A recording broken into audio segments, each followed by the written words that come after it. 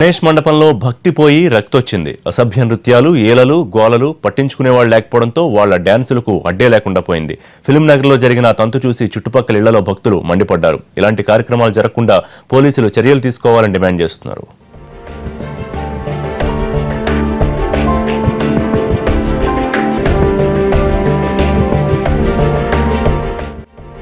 దేవుడి ముందు రాసలీలలు సిగ్గు లేకుండా అసభ్య నృత్యాలు. భక్తి మాటున సాగిన రక్తి రసం. పట్టించుకోని పోలీసులు. దేశంలో ముంబై తర్వాత ఆ రేంజ్లో గణేష్ చతుర్థి జరుపుకుంటారు హైదరాబాద్ వాసులు.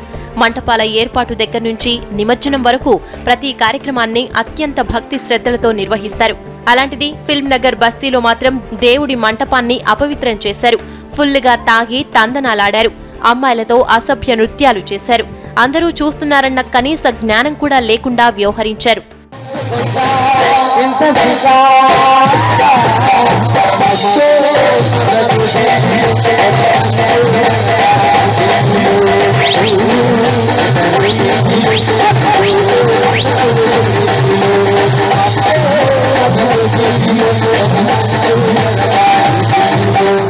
తెల్లారితే పండగ కావడంతో మంటపాన్ని చక్కగానే అలంకరించారు. అన్ని ఏర్పాట్లు చేశారు. ఆ తర్వాతే మందు పార్టీ జరుపుకున్నారు. తలా కాస్తా పుచ్చుకున్నారు. ఇంకేముంది మ్యూజిక్ మొదలు పెట్టారు ఆర్కెస్ట్రాను పిలిపించుకుని గానా బజానాలో తేలిపోయారు. ఒళ్ళు తెలియకుండా తైతక్కలాడారు. ఈల వేసి గోల చేశారు. చిందులు తొక్కుతూ సెన్సార్ మర్చిపోయారు.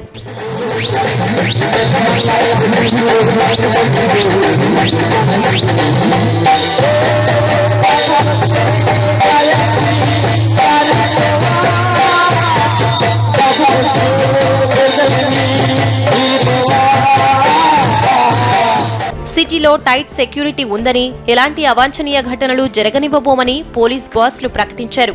ఇక్కడ వీళ్ళు చూస్తే సిగ్గు ఎగ్గు మర్చిపోయారు.